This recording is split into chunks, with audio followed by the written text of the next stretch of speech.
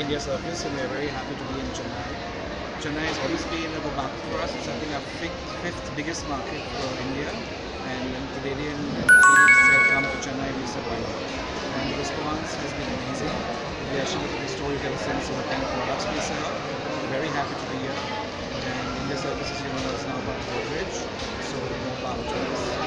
Happy shopping in Chennai.